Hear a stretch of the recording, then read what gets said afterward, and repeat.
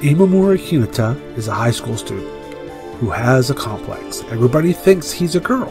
He wants to be more masculine no matter what, until one day he finds a strange advertisement.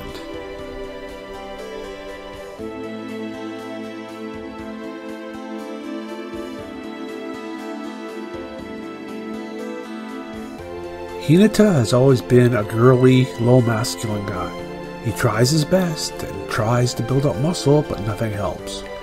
When he gets a chance to change his life, with only an injection, he jumps at the chance. And when he wakes up the next day, things have changed. He has gender swapped. Not only does he have to deal with his new shape, but after being kissed by a girl, she swaps into a guy. Good thing she always wanted to be a guy. Now Hinata must try and conceal his her identity. But being a romantic gender swap comedy, things happen and more and more people are infected with the gender swapping virus. Though it is confined to a few people, sooner or later the news will get out. We do finally get to see way into chapter 34 the actual reason the doctor who infected Hinata did what he did and how will, cause a gender swapping pandemic. With the pandemic happening in 2020, this manga seems a bit topical. Though we are not subjected to gender swapping, our virus is a bit more virulent. In the 60 chapters available right now, so far the pandemic is only concentrated to maybe 5 or 7 people that we know of. Nothing about the rest of the world is stated, but it seems the doctor is just using them as a test subject before the virus spreads. Tensei Pandemic is another take on the gender swapping manga. This time it is not a random, spontaneous transformation.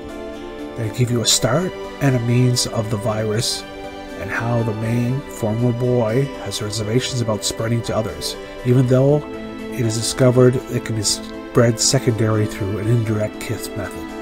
And also he has to struggle if he wants to say a girl or change back to be a guy again. The graphics of Tensei Pandemic are nothing outstanding, but you are mostly there for the story and occasional body exploration. Depending on the version you see, the censoring is either smudged out type or non-existent.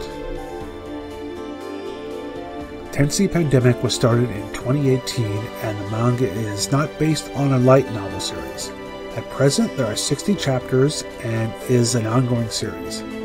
There has been some rumblings of it turning into an anime, but nothing has been set in stone that I can find. The series would make a good anime though, even though it's a little ecchi in it. I look forward to it if it ever comes out. Okay, with Tensei Pandemic hitting an ironic note for the year 2020, we hope that our story turns out as good as the story in the manga.